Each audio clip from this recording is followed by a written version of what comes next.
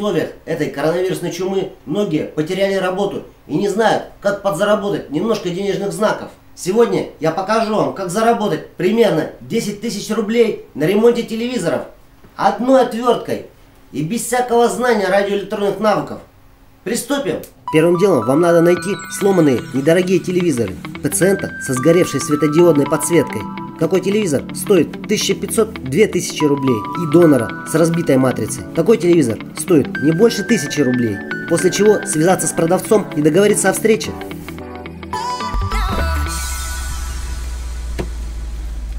Для начала пару советов, какие телевизоры надо покупать. Погуглите модель телевизора.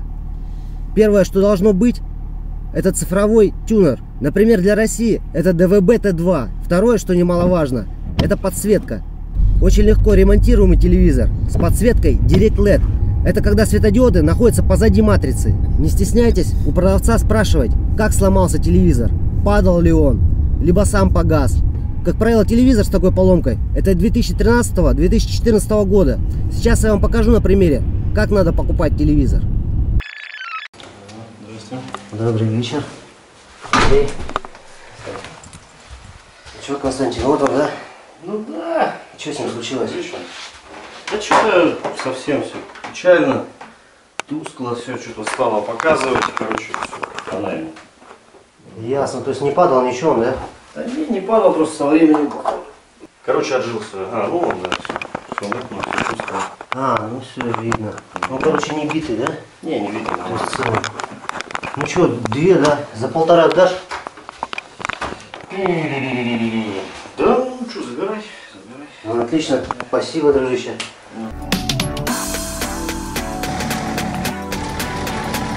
Сейчас я с приятелем заеду еще за двумя телевизорами, после чего в лабораторию зарабатывать деньги.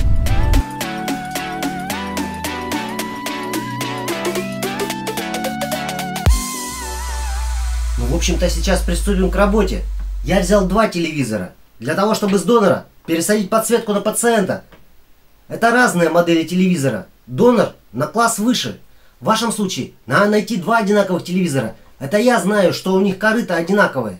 Корыто – это вот такая вот задняя часть телевизора, на которой крепится подсветка и электроника. Почему я взял две разных модели? Да потому что у меня уже есть заказ на материнскую плату от этого телевизора. И продам ее за три с половиной тысячи рублей.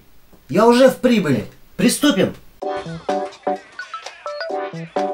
На случай развлечения с телевизорами у меня есть специальная поролоновая, так называемая скатерть, для того, чтобы матрица не шоркалась об стол. Обязательно складывайте шурупы в какую-нибудь коробочку. Если шуруп или какой-то объект попадет под матрицу, царапин не избежать.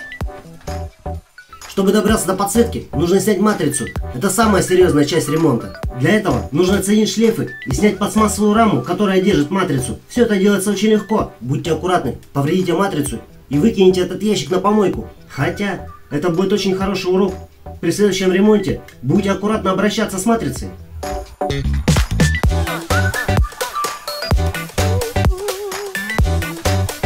По всему периметру пластмассовой рамки расположены пластиковые защелки.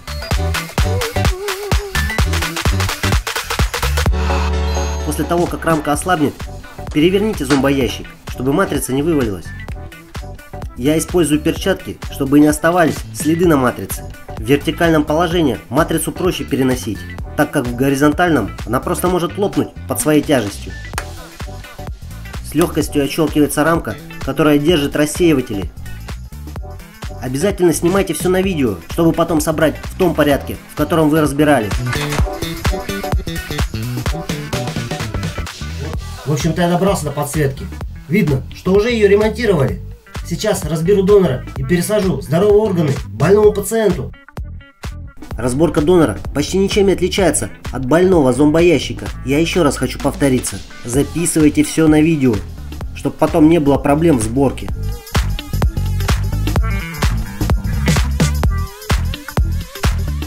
Как я и говорил, корыта этих телевизоров одинаковые. Можно было переставить просто матрицу с тайминг-контроллером, но, к сожалению, материнская плата уже продана. Перед тем, как демонтировать светодиодную подсветку, обязательно отключите шлейф. В конденсаторах осталось еще какое-то напряжение, и вас может очень неприятно разрядом.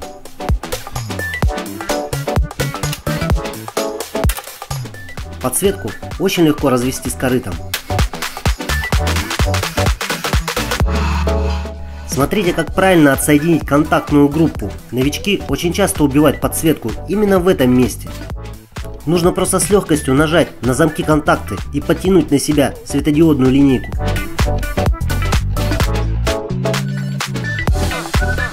Пришло время установить донорскую подсветку на наш больной зомбоящик. Здесь будьте особо внимательны, чтобы светодиодная линейка очень хорошо контактировала с корпусом телевизора, который в свою очередь отводит очень хорошо тепло от нагретых светодиодов.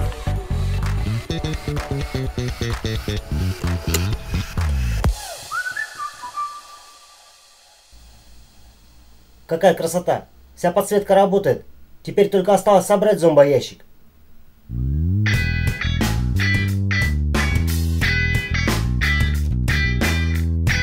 Ай, как попало соберу все равно продавать. Не вздумайте так сделать. Как попало, вы можете собрать. Только если купили телевизор для себя. Для продажи все защелки должны быть защелкнуты. Не должно остаться ни одного шурупа. Перед продажей телевизор обязательно натрите, чтобы он был как новенький. Делайте все качественно и аккуратно, чтобы потом не пришлось краснеть.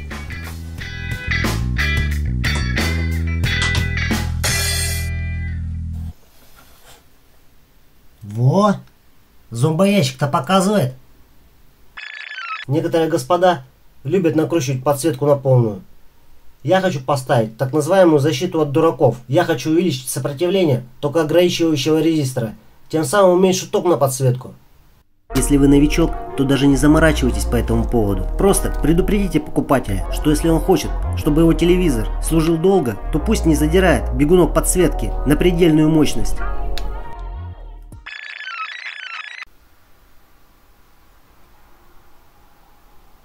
Но невероятно. Ну вот, зомбоящик отлично работает. Это первый вариант, как можно быстро заработать денег. Но есть и второй вариант, тоже связанный с подсветкой.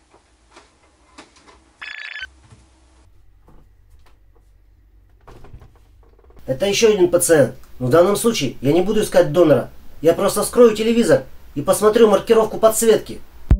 Этот способ долгий и более дешевый но зато вы получите новую подсветку, которая проработает намного дольше. В этом ящике три линейки подсветки и горит только один светодиод. Надо менять. Где вы будете искать эту подсветку? На Али или на Авито? Неважно. Сейчас самое главное узнать маркировку.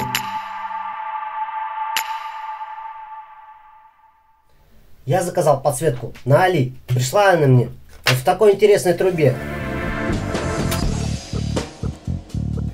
Со вторым пациентом будем производить ту же самую процедуру по сборке. Перед тем, как ставить рассеиватель и матрицу, обязательно запустите панель, чтобы убедиться, что все светодиоды исправные. Только после этого приступайте к окончательной сборке.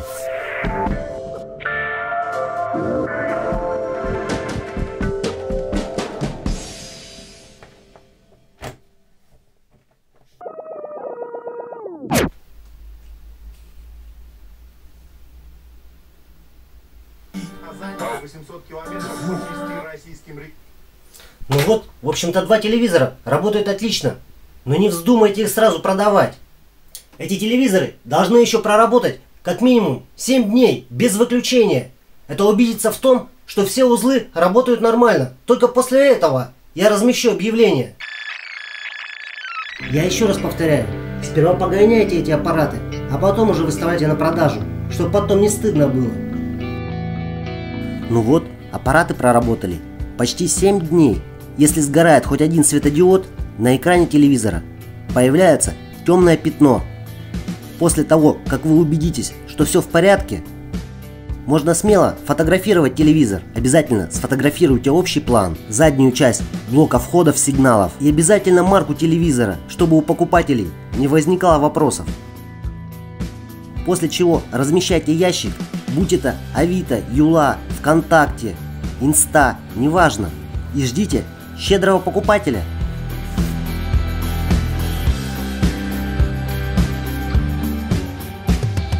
Итак, подобьем.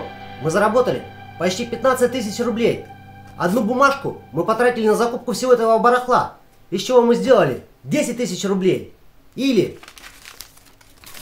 130 долларов. Ну неплохо, я думаю.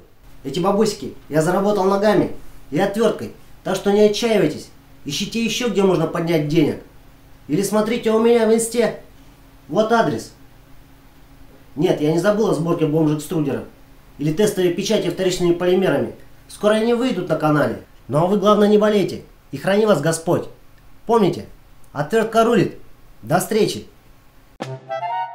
Это первое видео такого плана. Как заработать денег. Зайдет оно или нет, решать вам комментариями под видео.